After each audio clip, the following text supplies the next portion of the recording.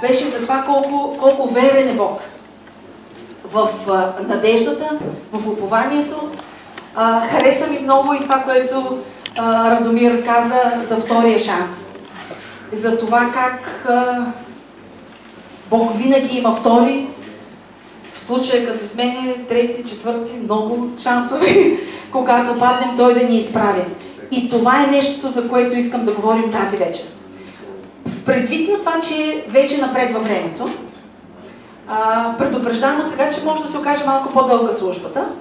Ако някой бърза, може да спокойно, не се преценяйте, няма да се обидя, може да стане да, излезе по гони автобус или а, нещо такова и се И едно предупреждение, и за тези, които ще гледат записа, могат да сменят канала след малко, ако не им харесва, или а, за присъстващите, но едно уточнение за, за кого не е това слово, което вярвам, че Бог ми е, ми е дал за днес. Ако сте в тази категория, която ще избера след малко тия хора, не се притеснявайте, може да си вземете чанчката и да стръгнете, няма да ме обидите. Това слово не е за религиозни хора. Не е за праведни, не е за безгрешни, не е за онези, които са перфектни родители. Със сигурност не е. Не е за съвършените съседи, не е нито за идеалните домакини, нито за изящните съпруги с такъв идеален маникюр или перфектна прическа или такива неща. Да, всички почнахме да си ги поглеждаме. Нали? Аз мога да дано да не, е, да не е паднал моя в сладкото, дето прави сутринта. Лака. Не е за компетентните готвачки, тези, които не бъркат в нито една рецепта, никога не са загорявали манджа. Не е и за вечните оптимисти, за хора, които никога не са падали духом. Ако ти никога не си падал духом, никога не си съгрешал, никога не си падал, не се притеснявай, можеш да си излезеш това слово, не е за теб. Аз лично не съм такава, затова оставам. За да го. Със сигурност не съм, нито съм перфектната съпруга, въпреки че след две седмици правим 20 години брак, само питайте Илко може да ви каже колко много търпение му трябва с мен. Но, със сигурност, знам колко много пъти съм падала и за съжаление знам, че пак ще падам. Със сигурност ще има времена, когато по някакъв начин ще оплескам нещата и ще сгазя лука, защото просто сме човеци. Всеки един от нас, когато Господ ме намери преди 26 години, когато ме срещна, вижте, ето, Оказа се, че не съм на 25, сама си го казах. нали? Защото няма как да съм го приела преди 26. И в противен случай, но още тогава аз бях развалина, такава каквато той намира и сега, когато дойде и ме погледне. Аз се нуждаех много от Господа тогава и се нуждая много от Господа и днес. Даже, може би и повече. Защото сега мога да видя колко много по, по неща на пръв поглед малки в очите ми го нараняват. Когато тогава виждах големите неща. И а, в началото моето свидетелство беше като се покая и спрях да пуша и спрях да пия, нали, тия големите неща. А пък сега даже и да погледнеш някого накриво, знаеш, че нараняваш Божието сърце. И имаш нужда да извикаш към Него. И да изпееш с, с сила това, което пяхме преди малко. Вярвам в Теб, Исус, на Твоето дело в мен. Защото ако не е Неговото дело в мен, нищо не мога да, да, да постигна. Ако не е Той, който изработва своята воля и съвършеното си дело в мен, аз съм нищо. И, и ако не е, че Неговото име е възстановител на развалини, няма да има надежда за нито един от нас. Никой не си тръгна. Предполагам, че всички сме от развалините, деца нуждаем да извикаме към Господа като възстановител на развалини. Татко, благодарим Ти за Исус. Благодарим Ти за това, че Той е дух на надежда, княз на мир. Благодарим Ти, че чрез Него можем да кажем не на унилия дух. Чрез Него можем да кажем не на депресията. Избираме да ходим в Тебе, да вярваме в Тебе, да вярваме в делото на Твоя Син, който днес ни преобразява, днес ни дава сила да продължим напред. С втори, трети, пети, не знам кой си е ти шанс, защото Той е възстановител на развалини смъмреме объркването, фарисейския квас, казваме не на срама и самосъжалението, самоосъждението и казваме да на приемането, да на силата и на надеждата в Христос. Да, на възстановителят на вярата ни. Да, на онзи, който ни превдига който ни казва стани и върви, защото ти си повече от победител. През каквото и да преминаваш, даже и през ада да вървиш, не спирай, но върви напред, тичай към мен, защото аз съм този, който те възстановява. Благодарим ти, Боже.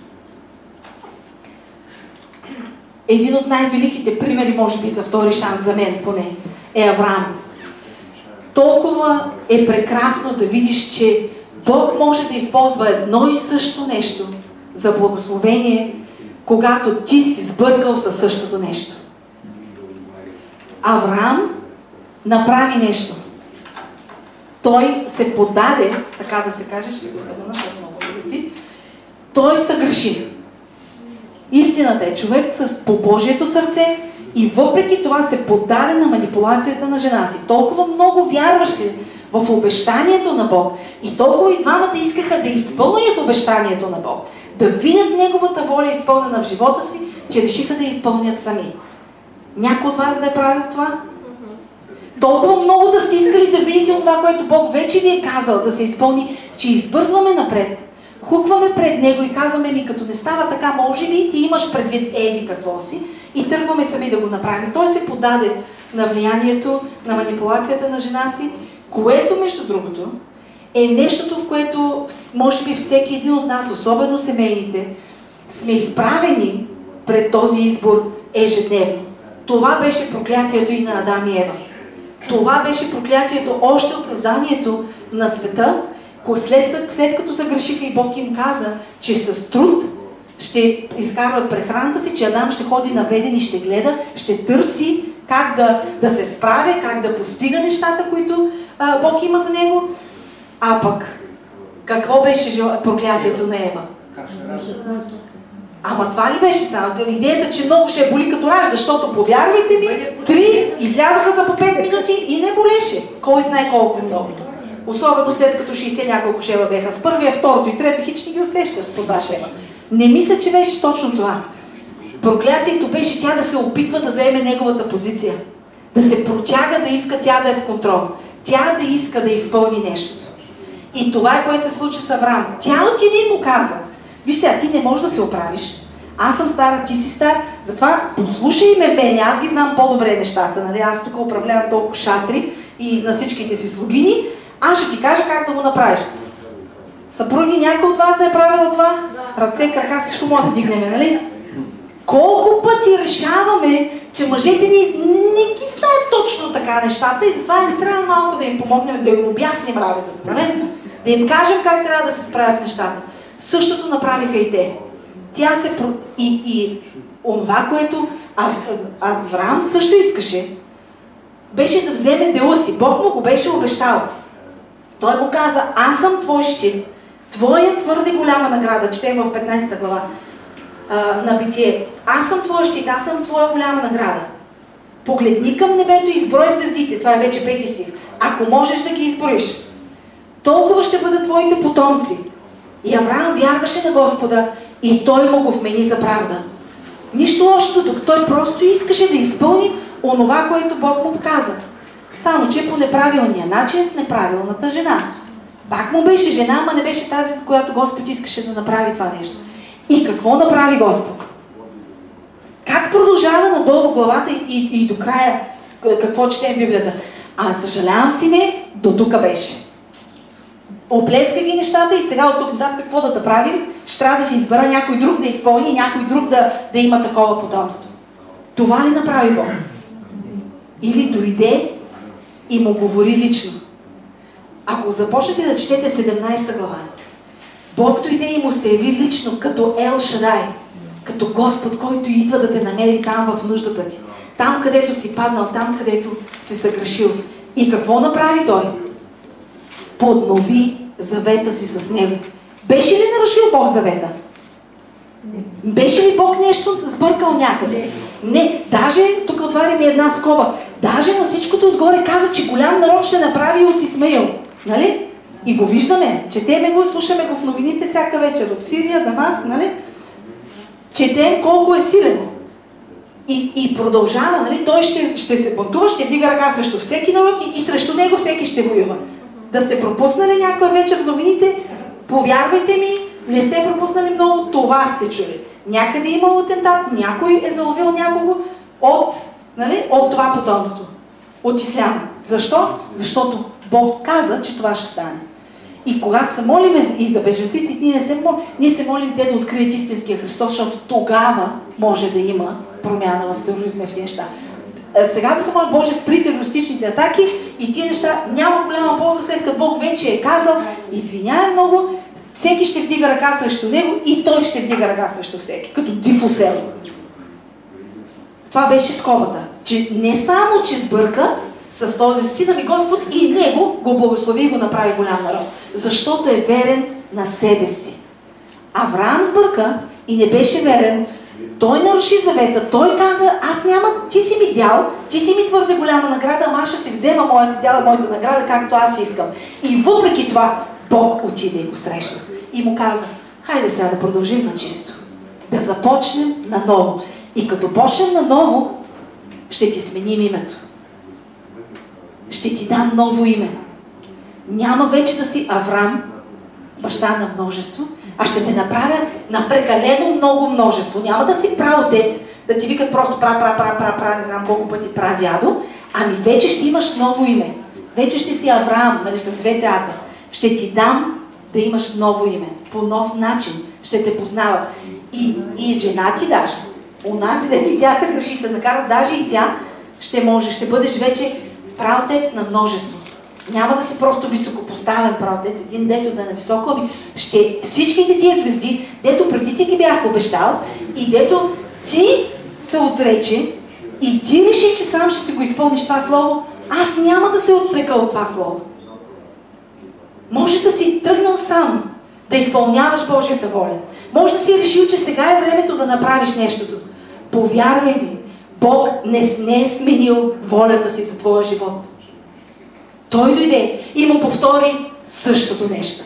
И му обеща същото нещо. Не му каза, сега като така малко ще те накажа, или ели какво си, и така и така, както ние като родители правим, а небесният ни баща идва и казва, хайде сине, хайде дъще, продължавай напред. Същото може да го постигнем заедно. Ще ти сменя името, ще ти дам ново име, ще ти обещая същото нещо, понеже аз съм същия и не се е променял. И моята съдба за теб не се е променила. Даде му същото обещание. С една промяна обаче. Каза му да се обреже. Въведе нова нотка в този завет. Даде му нещо ново. И му каза да се обреже. И инструмента на греха вече беше обърнат в инструмент на благословение. Същата част на тялото му, която произведе Исмаил, беше използвана, за да произведе Исак. И името на Исак беше смях. Защото това, което и преди малко бяхме казахме, може вечер да дойде плач, да пренощува, но на сутринта идва радост. И двамата, и Авраам и Сара, се засмяха, когато чуха, че Бог им дава същото обещание. И отношението им беше, то няма как да стане. Ние не стига, че вече сме стари, ами ми даже и сме оплескали нещата и сега ти ни казваш същото. Те се засмяха, но не с радостта. Е, браво, Бог ще го изпълня. Ами, а, знаем се тия. Няма как да стане. Но Бог се засмя, понеже им каза, ай сега ще ви докажа колко съм верен. Е, сега ще ви покажа, че аз съм същия вчера, днес и завинаги и не се променям. Можеш да стоиш и да мокриш възглавницата вечер и да кажеш, Господи, как можах? И да се самообвиняваш, да се самосъжаляваш. Повярвай ми, Господ стои да чака, за да те посрещне с изгрева, да, те, да се усмихне в облака и да ти каже, аз те обичам точно толкова тази сутрин, колкото и вчера и оня ден, когато се валяше в греха си. Когато се чудеше как да се върнеш при мене и да ми кажеш, че съжаляваш. Аз те обичах точно толкова, колкото те обичам и сега, когато се каеш и ми казваш, че искаш да се върнеш при мен. Аз не се променям. И знаете ли още какво направи? Той му даде още един белег за служението му. Обяви го за пророк. Показа му служението му, показа му съдбата му и го използва. Спомняте ли си какво каза на фараона? След като той пак след всички тези неща, пак излъга за жена си, каза сестра ми, той му каза, отиди при Авраам Защото той всъщност е мъж, обаче той е и пророк и като се помоли за тебе, ти ще се изцелиш и, и цял, целият ти род, нацията ти ще бъдат спасени. На лъжец Бог каза, той е пророк и като се помоли, аз му чувам молитвите. Когато стоиш в тъмната си стаичка и, и се чудиш как да се помолиш, повярва ми, той стои и, и, и, ти казва, аз вече съм ги чул. Аз вече ти отговарям, аз искам просто да ми кажеш какво искаш, за да мога да ти отговоря и да ти го дам. Той го нарече пророк, когато Авраам виждаше себе си като лъжец. И то не за първи път. Бог вижда тебе различно. И когато трябваше да решава за Содом и за Гомор, до кого се допита? До човек. Бог снижи себе си да отиде да води преговори. Все едно да отида аз на пазара и да обяснявам на Силвия за нейните домати. И да домат, нали, нейните домати и, да, и, и краставици, и да я убеждавам за нещо, дето тя го знае.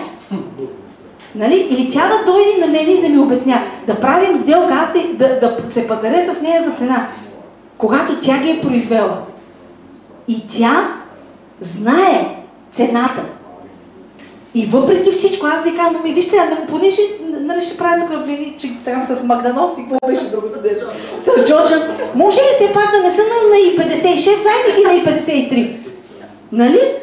И въпреки всичко Бог казва, добре, да, айде на 50, не, не, айде, на, айде на толкова. Представете ли си?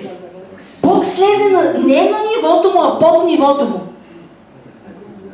Колко голяма стойност Бог вижда в тебе. В който и шанс да, да имаш нужда да бъдеш. Господ те гледа и ти казва, аз искам да общувам с теб. Аз искам да бъда възстановител. Аз искам да ти дам надежда. Аз съм този, който виждам потенциала в тебе. И аз ти казвам, че ти си пророк. Аз ти казвам, че ти можеш да ходатайстваш за нацията и да я издигнеш. Аз ти казвам, че можеш да се пазариш за 50, за 40, за 10, за 5, за колкото искаш. Само ела при мен и говори с мене. Общувай с мен и ще стигнем в крайна сметка до разрешението на проблема. Но не дей да си мълчиш, не дей да стоиш далеко и да се жалваш, да се кажеш, Господи, защо стана така, ама сега как не може? Ела при Него и просто разговаряй, говори с Него, защото Той е възстановител на развалини. Когато се чувстваш зле, ела при Него и му кажи как се чувстваш. Кажи му какво има и Той е този, който ще отговори. И даде ли му Бог потомство? Изпълни ли обещанието си? Непрекъснато повтаряше едно и също. Погледни звездите. Спри да гледаш в кълта. Спри да гледаш в обстоятелствата. Гледай звездите. И там ще видиш потомството ти. Там ще видиш. И какво ни казва Галатяни трета глава? Какви сме ние? Деца на Авраам. Ние продължаваме да сме звездите, които светеха на небосклона, който той виждаше.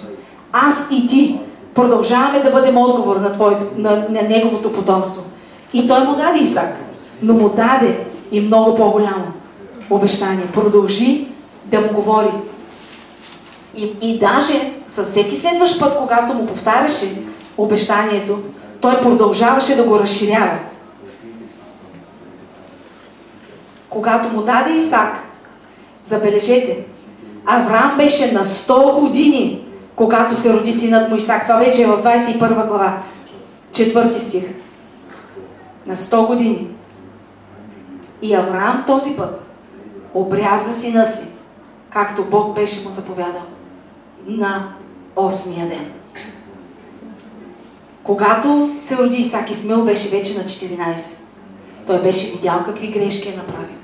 Беше видял, беше ходил много пъти при Господа и му беше казвал какви неща и как той вече знаеше как да общува с него. И този път направи нещата правилно. Този път ги направи както трябва. С този син той изпълни това, което Бог му каза. Обряза своето си сърце, обрязи край кожието си и дойде при Господа. И Господ го възстанови. Господ му даде надеждата. Бог му даде мира. И за тези, които си казват, добре, това е чудесно, обаче в Стария Завет, имаме прекрасния пример на Петър. Петър мина през много подобни неща. Не знам дали някога сте изучавали живота на Петър, съветвам ви да го направите, ако не сте. Но Петър мина през много подобни неща. Беше призован от Господа, няма да ви давам главите, ако иска някой може да ви давам препратките после. Бог го призова, докато той се занимаваше със своите си неща, почти както Авраам.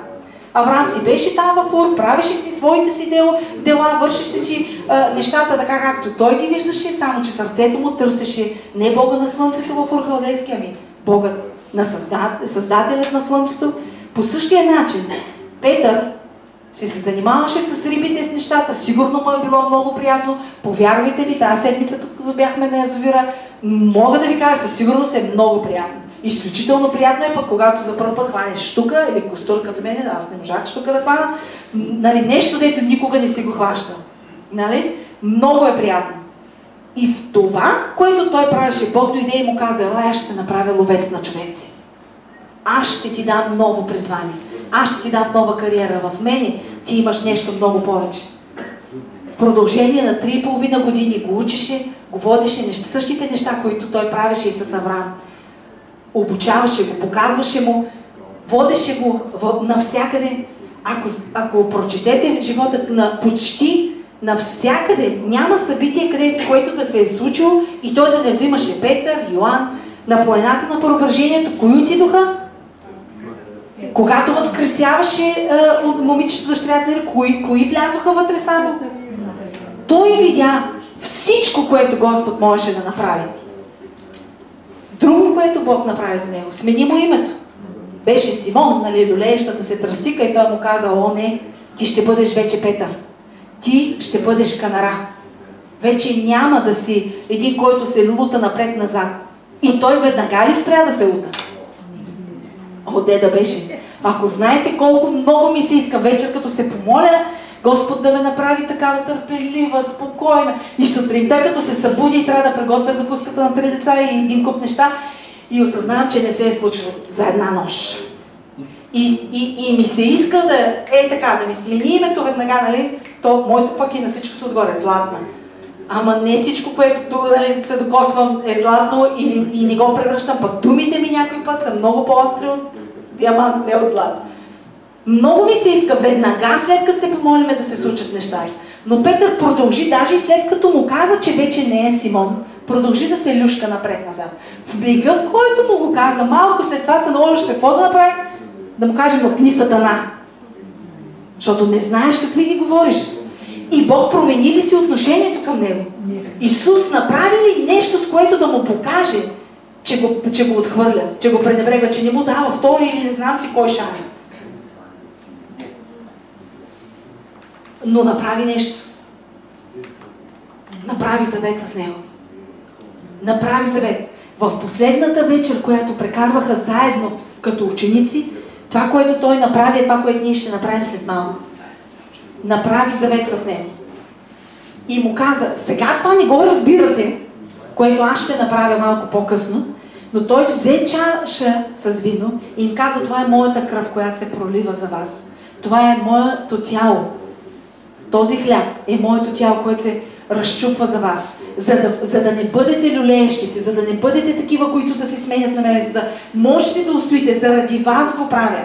Защото има призив в живота ви. И сами не може да го изпълните, защото се нуждаете всеки ден да си припомняте това, което аз съм направил за вас. Той направи завет с него. И му даде обещание. Той му каза на тая канара, на това откровение, кой съм аз в живота ти. Аз ще изградя църквата си, аз ще изградя онова, което предстои да стане, да, да завладееш целия свят. Даде му служение, даде му обещание, даде му а, завет, към който да поглежда и който да си спомня постоянно и му каза, така както обяви Авраам за пророк, така него го обяви за, за служител, му каза, ти ще се грижиш за братята си. Но нещо повече. Паси овцете ми, но паси ягънцата ми. Ще има такива, които са готови овце. Тях е много лесно. Готови овце, те знаят как се ходи в сталото, те имат добри маниери, имат добри относки, като влезат, знаят, ами ние алилуя в църквата, имат вече някаква така зрялост, ама има и едни агънца, дето леле, ще има да ги гониш по поляните, как ще тича и колко много търпение ти трябва. И ще трябва да им даваш и втори, и трети, и четвърти шанс, така както аз ти давам на теб. Паси овцете, но паси ягънцата ми. Продължавай, така както аз ти давам шанс. продължавай по същия начин да им дава шанс. И не само това, ами това, което аз правя в момента за вас, им каза той като измик, но взете. Това правете един на друг. Служете си един на друг, помагайте си един на друг, така както аз го правя на вас.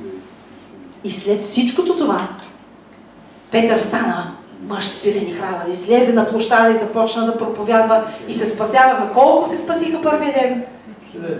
Хиляди. Нали? Някои казаха пет, тук неделното помня, три. Добре. Само, че знаете ли, между тези случки има едно друго събитие. Дето пак трябваше прошка. Защото отново Петър се провали. Преди да стане силният мъж и малко след като Бог му беше казал, че е канарата, той каза, аз не те познавам. Не го познавам, моля ви се, какви ми ги говорите? Този ли? Не, в никакъв случай не го познавам. И не веднъж, не два, аж три пъти. Три пъти.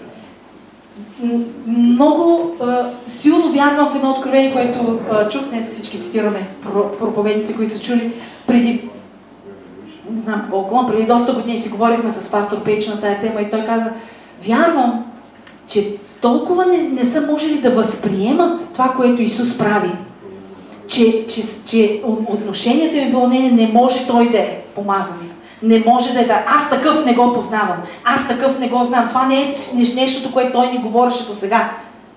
Той не ни говореше, че е такъв. Аз не го познавам като такъв. Само, че Бог и в това му се показа като такъв. Като верния, като възстановителя. Защото това, което Петър направи, за да стане мъжа, който може да излезе на площада пред хората, беше да обреже сърцето си. Защото се казва, че в мига, в който осъзна, в мига, в който чу петела да пропее, той плака горко. Плака пред Господа и образа сърцето си. И ако си спомняте, заедно с един друг любим ученик се състезаваха да тичат. Ако прочетете, състезаваха се, кой първи ще стигне, за да провери дали това, което Мария говори е вярно. Наистина ли гроба е празен? Наистина ли той е този, за който говореше, че е? Бягаха и се състезаваха, даже се каза, обаче другия ученик стигна първи. Изпреварна, нали? Петър все пак беше по-възрастния, логично. Нали? Какво да правим? Е, генето понякога си казва думата, Йоан беше по-млад.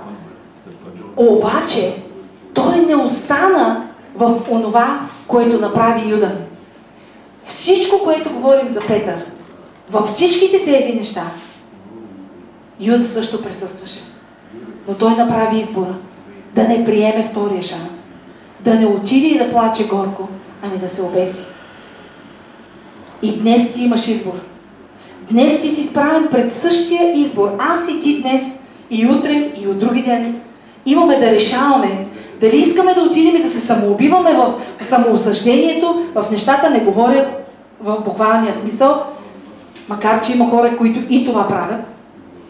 Оня ден четох за един пастор, който се самоубил в колата си, след като разтоварил нещата от а, семейната вакансия, жена му и децата влязли и той се застрелил вътре в колата. Някои и до това стигат в отчаянието си, за съжаление. Но Бог е Бог на втори, пети, десети, енти шанс.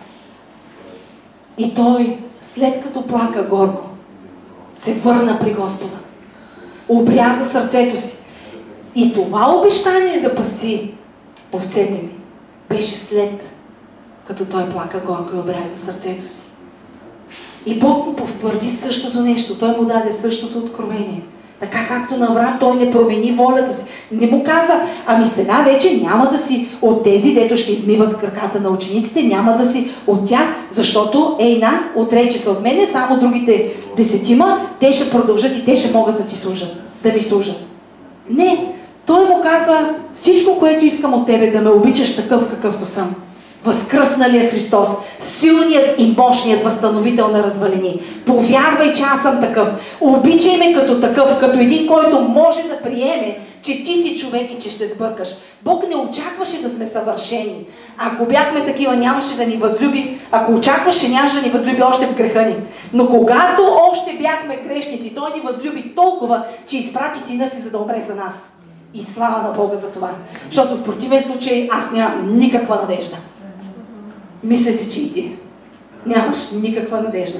Защото без Него ние сме просто развалени. Но с Него сме повече от победители. С Него сме много повече от това, което е Той.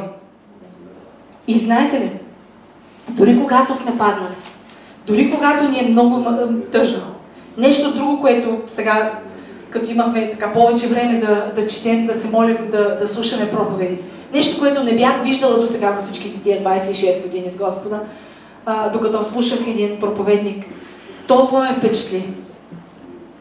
Бог твореше в тъмното. Ако не сте чели Битие първа глава от, отдавна, прочетете си.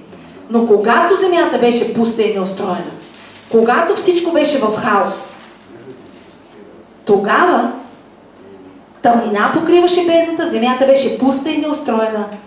Тогава Божия дух се носеше.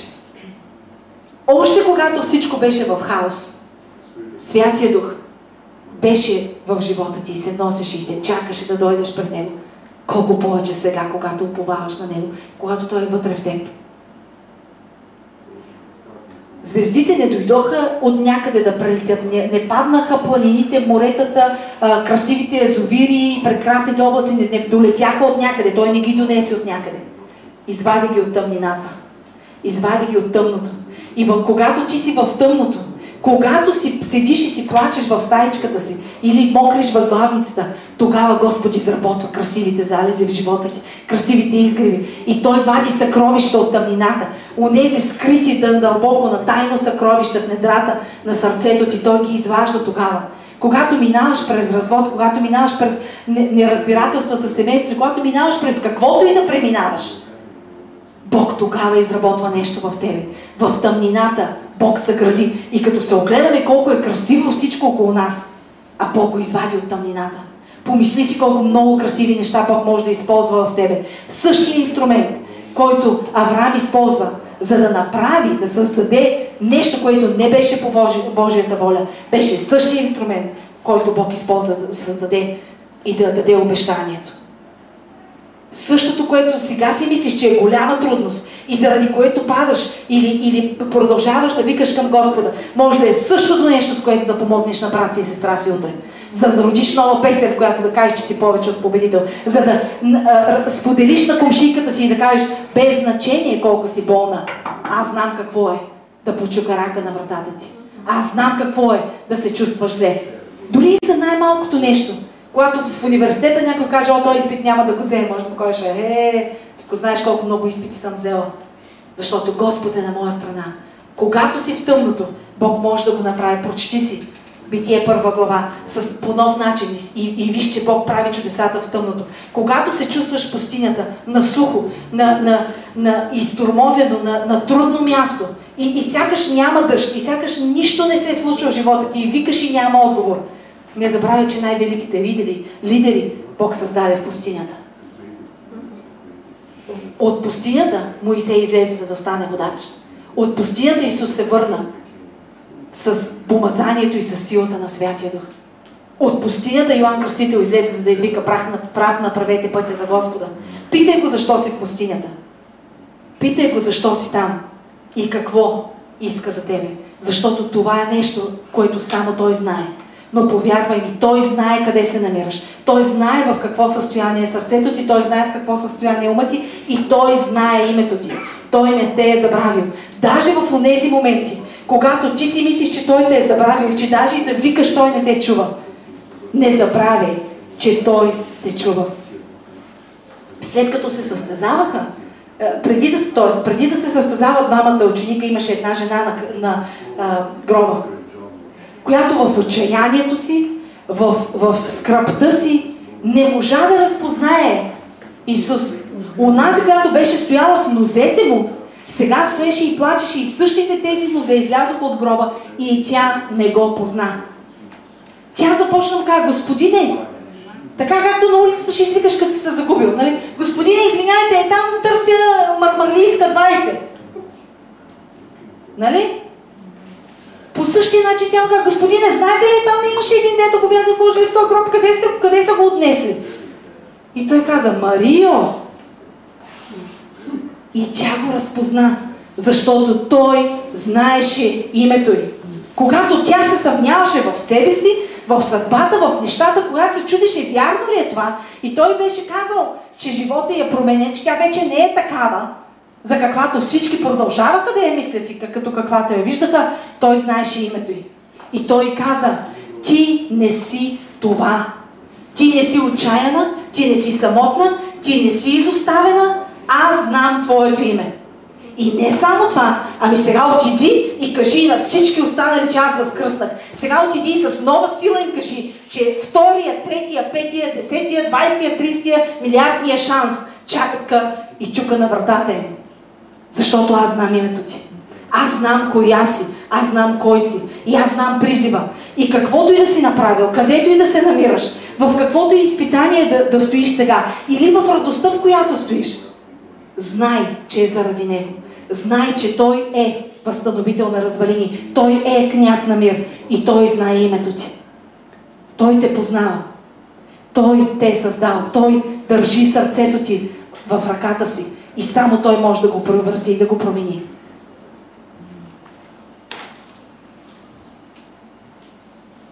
Няма нищо, което да може да го накара да спре, да възстановява. Защото Той е такъв. Ще се помолим, но този път малко по-различно. Благодаря на Боби, който откликна да дойде да послужи и на Яна, и Нева, и на всички, които ще се включат сега в тази песен. Ние ще се помолим и след това ще изпеем една песен и ще продължим с песента да се молим, предупредих ви, че ще е малко по-дълга службата. Кажете му всичко, което, което искате. Заповядайте. Защото имаме един татко в небето. Имаме татко, който знае името ни. Имаме един, който възстановява. Имаме един, който, който променя. Имаме един, който дава втори и трети шанс. И докато пеем тази песен, Помислете си, кое е онова, което ви спира? Кое е онова, което ви дава а, причина да си мислите, че Бог не може да възстановява? Може ли, сега да извикаш Джони, за да пусна текста? Благодаря. Помислете си какво е онова, което искате да покажете. И дори да, да не стане, да не тръгне текста, слушайте мелодията, слушайте думите, че Той знае името ви. Той е този, който извиква в съществувание неотговорените ви молитви. Той е този, който ви казва, аз съм до теб. Аз знам името ти. Аз съм Твоят Създател. Аз съм Твоят Творец. Аз съм любимият на сърцето ти. Аз съм този, който те възстановява.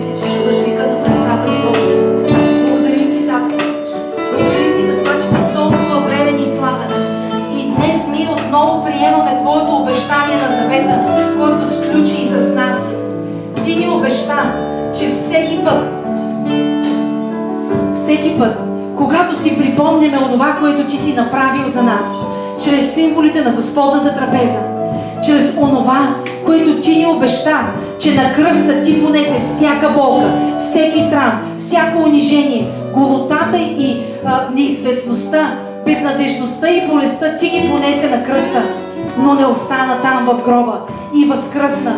И ти ни познаваш, ти можеш да извикаш името на всеки един от нас, защото ние сме врязани в дланите на Исус. Прободените ръце на Исус помнят нашето име. Ти си ни врязал в дланите ти и ние се молим днес. Направи сърцата ни чисти. Обличи ни с чистотата и светостта, заради която Твоя син умря на кръста. И беше погребан. И на третия ден възкръсна.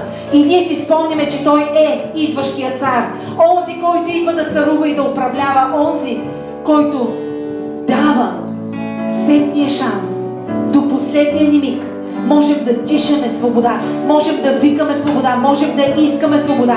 Благодарим ти за свободата от греха, благодарим ти за свободата от болестта, благодарим ти за всяка свобода, която даваш в живота ни. И днес ние се молим, онова, което искаме е чисто сърце. Чисто сърце в Тебе, Боже. Молим Те, Татко, спомняйки си за жертвата на Твоя син на кръста. Искаме да, да участваме в Господната трапеза с чисти сърца. От осъждение, от срам, от грях, изповядали всичко, което е в сърцата ни, Боже. Искаме да застанем пред Тебе с чисто сърце и те молим, сътвори отново Твоя дух в нас. Съгради отново запустелите места, Боже. Разори сърцата ни. Издири всичките плевели и неща, които не са Ти угодни. Онова, което сме допуснали да прорасте в сърцата ни. И те молим, наистина сътвори нови, чисти сърца в нас. И дух постоянен, неотменим, не юшкаш се, не един, който се колебае, да живее в сърцата ни. В името на Исус. Благодарим Ти, Боже.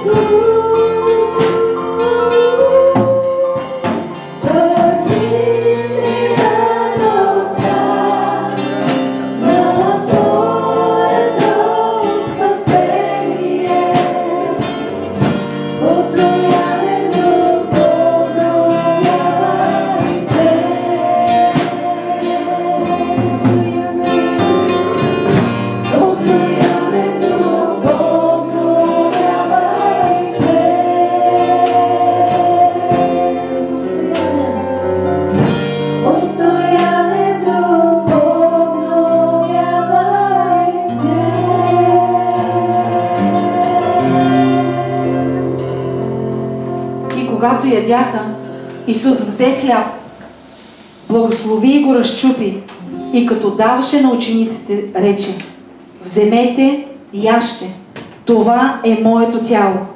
Взе и чашата и като благодари, даде им и рече Пийте от нея всички, защото това е моята кръв на новия завет, която се пролива за мнозина, за прощаване на греховете ви. Боже, благодарим Ти. Приемаме този нов завет. И приемаме Твоята прошка. Приемаме Твоето възстановяване. Благодарим Ти. Приемаме, Боже, че Ти си този, който си изработил в, в нас тези неща. Благодарим Ти за това, че си верен да възстановяваш. Ти беше разчупен, за да бъдем ние цели. В името на Исус приемаме този хляб.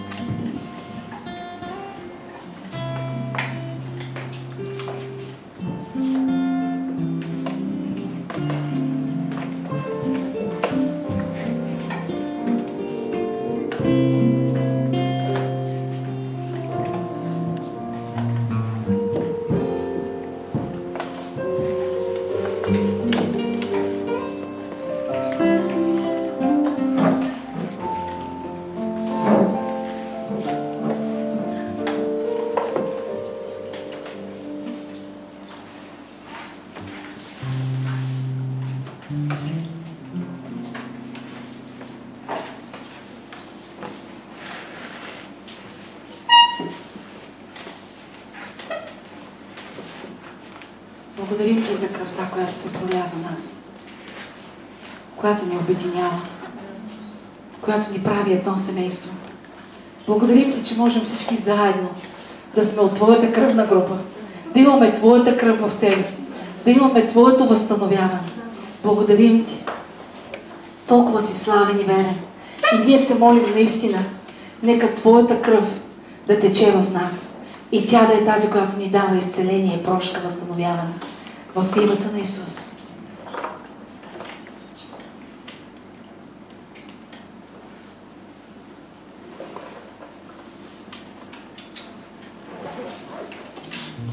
И знаете ли, има нещо, което рядко правим, а, когато имаме Господна трапеза. Обикновено пеем по време на Господната трапеза. Но вижте, прочетахме преди малко до 28 стих от Матей 26 глава, от 26 до 28. В 29 той казва, но казвам ви, че от сега няма вече да пия от този плод на, лоза, на лозата до онзи ден, когато ще го пия с вас нов в царството на моя Отец. И 30 стих, може би е най-пренебрегвания от четенето на, на, и въобще от служването на Господна трапеза. Обаче, 30 стих казва, и като изпяха хим, излязоха на Елионския холм. И днес предлагам да изпълним и тази част. Да се хванем така, както винаги си се хващаме в кръг. И да изпълним тази част. Сега хвалянето ми е малко трудно за китарата на Бога да се хванем, но можем да се съберем отново и да прославим Бога и да го благословим и с това. И след това, като излезем, пък ние тук имаме много хълми, нали, в Търново, като излезем, нека да занесем това обещание, че Той е възстановителя, че Той дава надеждата, Той дава мира. Той е този, който изпълнява всичко това в живота ни. Амен.